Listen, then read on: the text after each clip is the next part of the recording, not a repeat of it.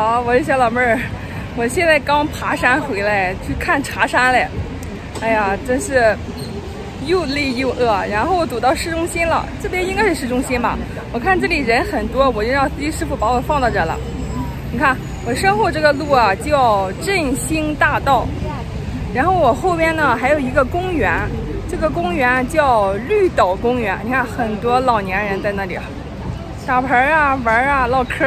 这里应该是一个商圈吧？我刚才查了一下地图，北边是一个商场，然后南边还有一个普洱购物大世界嘛。呃，这里人很多很多。我打算找个地方吃点饭，然后最好是能喝点热水。我从九月初出来，一直到现在啊，我都没有喝过一次热水。当然，那种热汤不算，我就想，我就想喝点热水。每次想喝热的时候，只能去饮料店，然后买点热饮喝。不知道大家有没有跟我一样的经历呀？啊，这边人是真多呀，人挤人。哦，这附近是一个医院啊，这里。哦，不是，是人民医院。国庆假期人就是多啊，这边。会后九十九元，精选秋装三件五折。哦。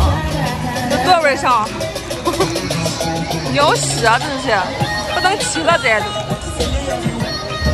现在到了普洱购物大世界这里了，看在这边找点吃的。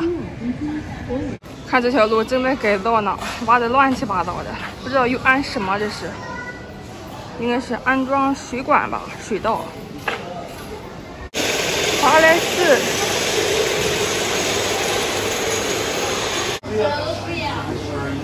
这里边人太多了，刚才路过家华，去买了点这种小的饼，那种夹心的这种，还买了一些面包，啊，晚上带回去吃。终于喝到热饮了，点了一个奶，热奶。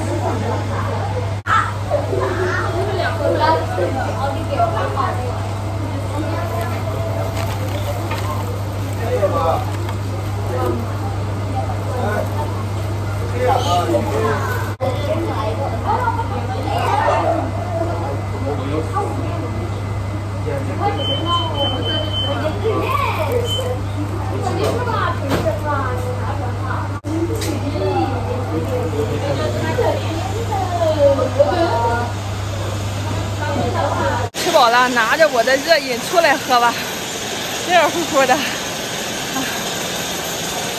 真的好长时间没有喝热水了，喝点热的，感觉心里暖乎乎的。